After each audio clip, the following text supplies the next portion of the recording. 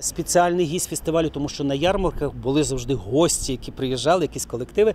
У нас буде народний артист України Віктор Павлік. Вперше ми започатковуємо в нашому парку галявину байок, тому що знаменитий байкар Леонід Глібов працював в Чорному острові півтора року і написав 72 байки. Саму величезну кількість він написав власне в Чорному острові.